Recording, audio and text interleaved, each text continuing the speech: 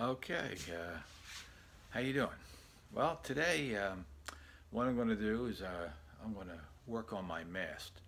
I've got pretty much most of the boat parts done, and uh, the way uh, the plans show you to start the mast is you take a couple 2 by 8s and these are the 2 by 8s that I've been using, and uh, they're clear this one has one knot in the edge, but other than that, it's it's clear.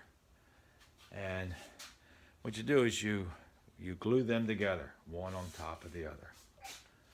And uh, when I glued them one on top of the other, I, I clamped it all along the, the length of it. But uh, to keep the boards from sliding around while you're trying to clamp, what I did on each end of the the uh, the two by fours, I drilled a small hole drop the nail through. So I keep everything perfectly aligned. Otherwise, it's trying to like, it's, it's like trying to stand on ice. It's real slippery. The boards want to misalign and everything else. So if you ever do anything like this, that's an easy way to to get it, get rid of that, or you know, stop that from happening. Then the very next thing I had to do was I had to draw a line down the center of the the center of the glued glued together pieces, and at different intervals the plans had different widths. So I had to measure from the center and divide that width in half and put half on each side of the center line. Then I went and struck a line. I nailed a little strip on here, what they call a batten. And uh, I drew a line. I put it up on my table saw and I cut it down. And so this is the result of that. Okay, and you can see it's it's one and a half inches here. And if I take it all the way down, to the very bottom. Okay, you can see it, it gets larger as we get along here. Okay, and then it tapers way down again because I've got to make this round to fit in this front post here, this front hole. Okay, there's a hole there. Got a chunk of wood and a dowel in there right now. I haven't fastened it to the floor, but that's what the um, that's what the uh, mast goes into. So now I've got to take this square mast that I've made, it's tapered, and I've got to round it off. And the way they show you to do that in the in the um, in the plans is to make a little jig. And this here is the little jig I've made. And basically, let me hold up here so you can see it. Basically, it's two dowels. I don't know whether you can see it very well two dowels, and the things sticking out the top are two pencils. And basically, I've just kind of drilled a hole in there, all right? But to position the pencils, that's the most critical part, okay? And the way you do that is, is uh, you go ahead and you cut a little square. I cut a little square block of wood, okay? And here's the little square. Okay, now that's the exact size of the whitest part of the mast. This is the widest part of the mast. So then what you do is you lay a circle on top of that so it just touches the edges. Okay? After you get done doing that, what you do is you take your builder square, okay? Take a builder square, such as this, okay? And you set this alongside, all right? Uh, you set that alongside like so.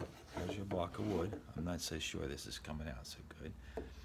Okay, let me flip this over. Let me see here. How do I do that? I'm just trying to think. Okay.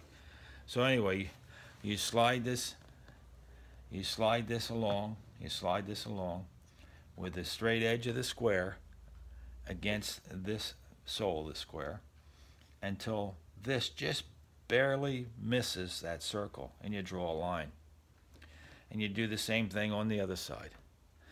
Okay, so now, I don't know whether you can see it very well. I'll get in a little closer. You can see there's a point there where it goes off and a point there goes off. These are the center points where you want to drill your holes for your pencil. Okay? And then your dowels, for the dowels, you want to make it about a quarter inch wider on both sides? Just in case your wood isn't cut equally, okay? But you make it about a quarter inch wider than this, this block, Okay, and then that's what you come up with, is you come up with, uh, where's it at? You come up with this jig, okay? So now what you do with the jig is you set it down over the top of this thing like that. All right, you make sure you cock it so the dowels are touching. Okay, the dowels are touching. And as you move this along, you'll see you've got three equal spaces.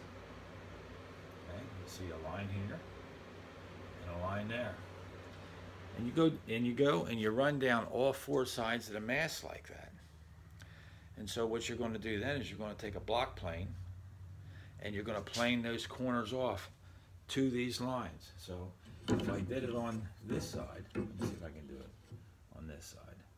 Come on. Let me see if I can get that. Get that to slide. It's kind of hard to do it one-handed. You see, I'm not so sure I'm doing this correctly. Do it one like that. I think I broke my point. I have to resharpen that pencil, but I can swap it over and it'll do the same. Okay, so I've got my three spaces there. I'll have to resharpen that pencil, like I say, but as long as the dowels are touching, you're gonna, so what I'm gonna do is I'm gonna take a block plane and I'm gonna plane this portion off here.